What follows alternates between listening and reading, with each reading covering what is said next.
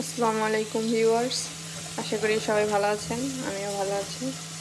আজকে আমি রান্না করতেছি হচ্ছে ফুলকপি, আলু দিয়ে ডিম রান্না করব। তো আমি অলরেডি কেটে কুটে বসিয়ে দিয়েছি। এখন কষানো চলতেছে। শুধু কষাচ্ছি আমি শুধু তেল দিয়ে। ফুলকপি, আলু দিয়ে দিয়েছি, লবণ, হলুদ আর কাঁচামরিচ দিয়ে হচ্ছে আমি কষাচ্ছি। আর এদিকে আমি তেল গরম করে নিয়েছি, এখানে আমি ডিমটা ইয়ে করব, ভেজে নিব একটু হালকা করে। দেখিয়ে দিচ্ছি।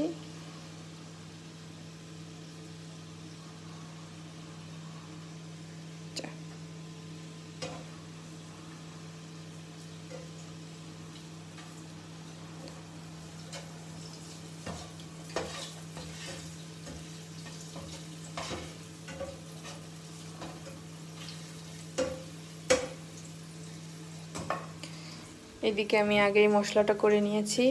এখানে আছে হচ্ছে কি পেঁয়াজ আছে, রসুন আছে আর জিরা আছে। এটা আমি ভেজে নিয়েছি। হালকা তেল দিয়ে হালকা ভেজে নিয়েছি। এটা হচ্ছে ব্লেন্ডার করে তরকারিতে দিব।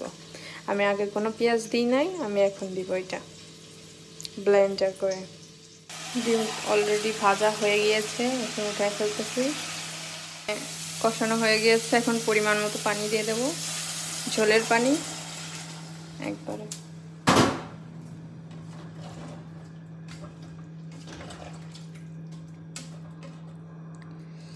এতটাই দিব এখন। একবারে আপনাদের যে যতটুকু দেবেন, ঝোল রাখবেন, সিদ্ধ হবে, সেই অনুযায়ী দিতে পারেন।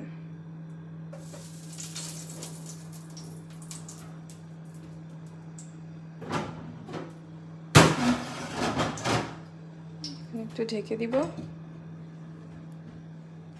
এদিকে ব্লেন্ড করে নিব আমার জিরা, আল কি সরি পেঁয়াজ, রসুন ব্লেন্ড করে নিব।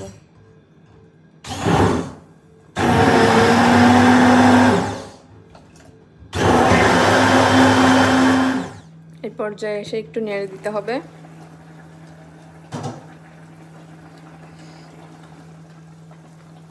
দেখেন। আমার ফুলকপিটা অনেক সুন্দর ভাঙেনি। ফুলগুলো সব ঠিকই আছে। সিদ্ধ হয়ে গেছে বাট ফুলগুলো ভেঙে যায়নি।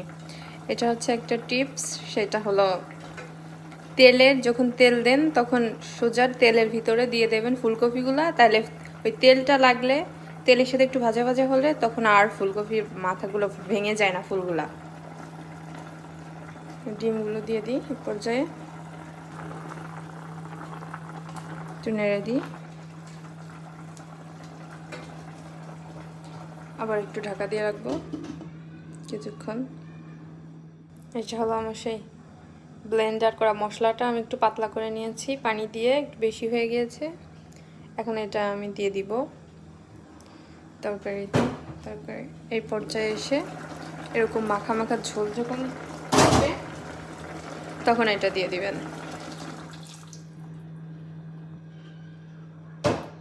দেওয়ার পর একটু মিলাইয়ে দিতে হবে।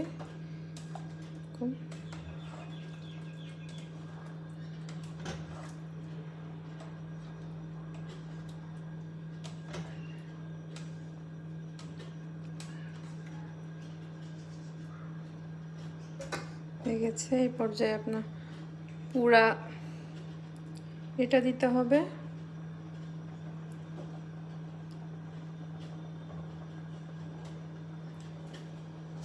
ঢেকে দিব।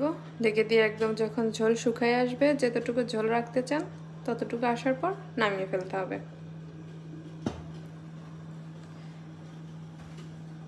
এটা পুরো চাল পুরো হাই।